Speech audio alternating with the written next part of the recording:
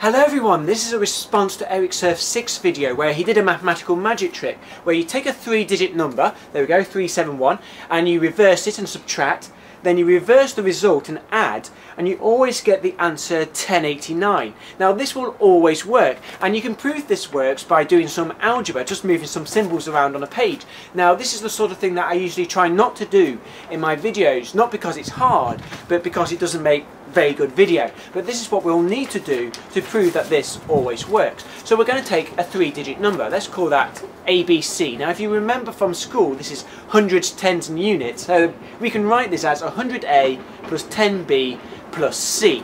Now we're going to reverse the number and subtract. So let's do that.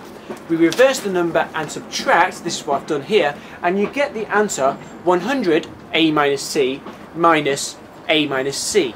Now to tidy this up a little bit, I'm going to take A minus C there, and I'm going to call that D. D for difference. I don't have to do this, I just do this to make it a little bit more tidy. So we've got now, this is exactly the same thing, 100D minus D. Now this number D, well if A is greater than C, then this number D is going to be between 1 and 9. Now I want to make this into a three digit number, so it's going to be hundreds, tens and units again. Well I'm going to do that with a slightly clever trick. I'm going to rearrange what we've got, 100D minus D, uh, so it looks like hundreds, tens and units, so it now becomes 100 D minus 1 plus 90 plus 10 minus d. So I've taken one of these hundreds and I've just rearranged it and moved it about. Now this is a three digit number now. We're going to reverse this and add. Let's do that. If I reverse this number and add, this is what it looks like. That's exactly what I've done here. But all these d's, they start to cancel.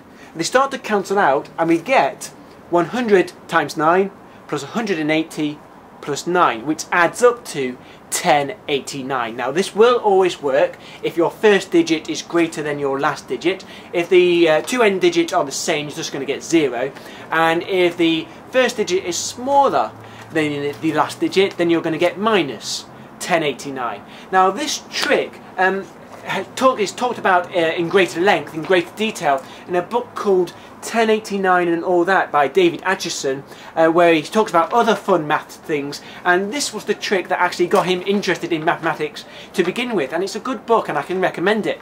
So uh, that is all from me for now, so until next time, see you later, calculator.